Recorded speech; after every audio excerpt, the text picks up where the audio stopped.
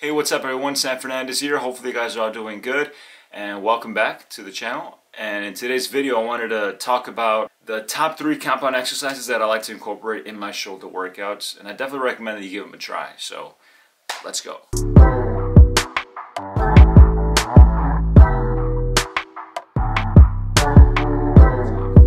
So by compound exercises, what do I mean? I mean exercises that work the entirety of a certain muscle group. Like for shoulders, all the presses that I'm going to talk about are compound exercises, meaning that they target both the lateral, the meaning the side, the front, and the rear deltoid at the same time. So that also means that you can go a little bit heavier than normal on these exercises. But my top three compound exercises are as follows.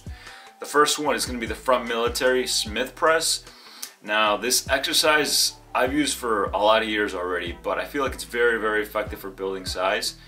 And I'm going to give you a couple of pointers on it before we begin. The first one is that you want to make sure that the bench is right in the center of the Smith area because at least for me, I definitely feel like whenever I'm a little bit to the left, a little bit to the right, the weight is a little bit offset and it kind of gets me a little bit out of groove when I'm pressing, especially when it's a little bit heavy. So I want to make sure that the weight or that the bench is right in the middle so that I'm pressing the weight evenly and I don't feel so out of sync with it. So that's tip number one. Also, tip number two, you want to focus on making sure that the seat is completely upright. You don't want to have the seat like angled too much because then you're going to start working out the top part of your pecs and we don't want to focus on that, not today. We want to focus on shoulders. So you want to keep that seat as upright as possible so that we're pressing completely straight above our heads.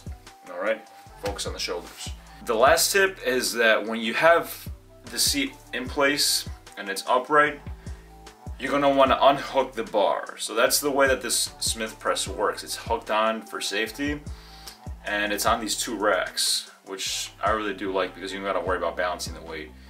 But whenever you start to go into the exercise, you wanna make sure that your wrists are a little bit back so that when you press the weight up, you can flick your wrist forward a little bit with the bar into the position that you want.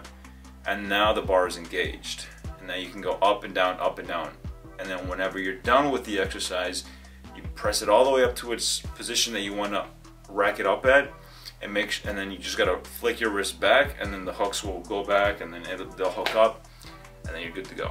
Okay so the second compound exercise that I want to talk about is going to be the reverse military Smith press. Now for this exercise it is a little bit trickier than the front military Smith press mostly because the positioning is a little bit awkward it's definitely not something that you're used to with bringing weight behind your head like this and then pushing it up. It definitely hurts a little bit on your shoulders if you already have shoulder problems to begin with. So if you do have such conditions, I'd recommend you skip to the next compound exercise that I will be talking about.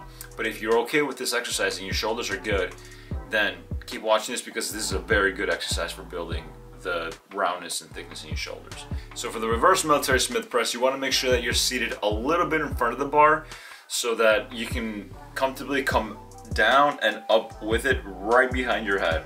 But you gotta be far in front enough so that you don't hit your head either. So just keep that in mind.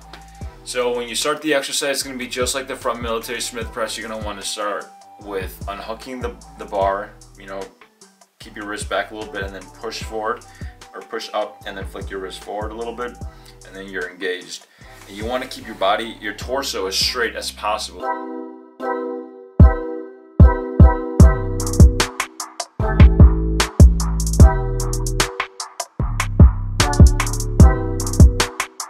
Okay, so the third and final exercise that I want to talk about is going to be the dumbbell press.